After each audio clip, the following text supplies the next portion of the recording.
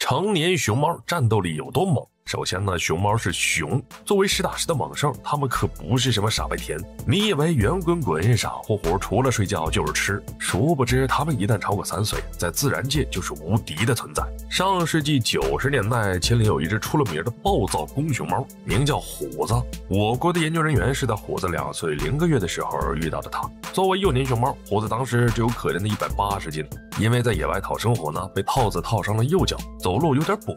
不知道是不是因为这点残。疾，他遭到了三只柴的围攻，结果可想而知啊！虎子的脸颊、脖子、屁股被柴撕开了好几个伤口。不过幸运的是，虎子遇到了潘文石教授一行人。作为研究熊猫的老教授，他看不得熊猫被欺负，赶紧带人去支援大熊猫。其实呢，柴的数量在我国也少得可怜，但是别的动物再怎么珍贵，好像在熊猫面前都低的。最后，重伤的虎子被送到动物园休养。当他重返野外的时候，已经七岁半了。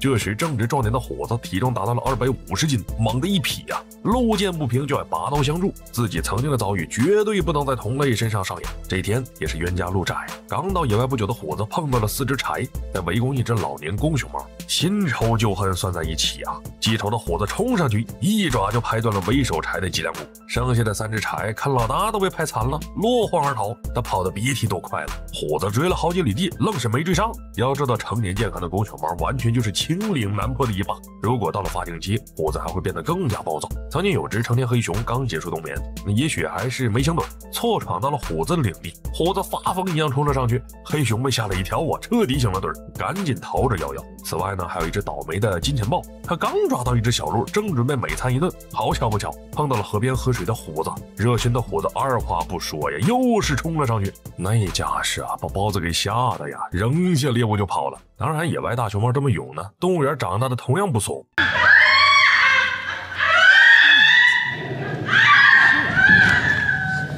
游客擅自接触大熊猫，被当场咬成重伤。最后还得自己掏医药费。说到动物园里伤人的熊猫，最出名的当属鼓鼓和喜妹了。北京动物园的鼓鼓呢，出了名的脾气大，曾多次咬伤擅自跳进熊猫园的游客。网友调侃他，眉宇之间一股王霸之气。那你以为只有公熊猫这么能干吗？母熊猫同样也很厉害。来自四川卧龙自然保护区的喜妹，在一众饲养大熊猫里伤人数排第二，而且是轻易不出手，一出手就是重伤。在零五年八月九号这天，有一名胆大的记者违规合影，不听劝告，最后被喜妹叫做人。送了个重伤，看他以后还敢不敢靠近熊猫。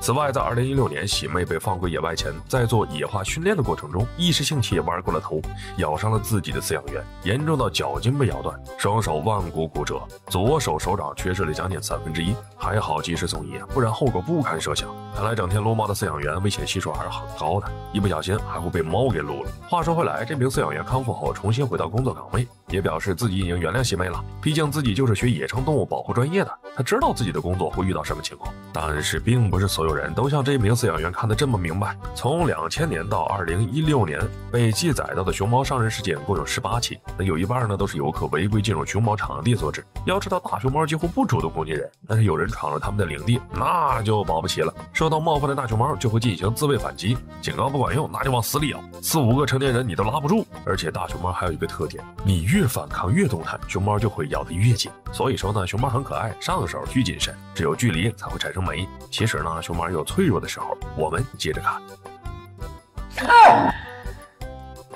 刚出生的熊猫有多大？只有一百多克，是母亲体重的九百分之一。而这段时期是它们最脆弱的时候。在野外，任何比它们大一点儿的动物都可以瞬间记住它们的小名。在野外，动物不讲究尊老爱幼，相反，豹子、豺狼等肉食动物还会专门挑幼小或者年老的熊猫下手。而大熊猫从出生到可以保护自己，最起码要用三年的时间。前面我们提到的大熊猫虎子，它曾在不满四个月的时候险些成为黄鼠狼的美餐。当时，虎子的母亲娇娇出去找竹子吃，好用奶水来喂孩子，家里只剩虎子。这时候的他没有任何反抗能力，反而就是那么不凑巧，黄鼠狼看到了圆滚滚的虎子，即使他把自己蜷缩成小透明，气到敌人看不见自己也没用。如果没有研究人员守在一旁，虎子就会像其他熊猫幼崽一样，再也看不到明天的太阳。当然，只要给他们三年新手保护期，他们就会成为这片区域的霸主。庞大的体型再加上手术刀般锋利的爪子，谁也不敢轻易靠近。作为一种大型杂食性动物，其实熊猫不仅吃竹子，也吃肉，小到竹鼠，大到羊。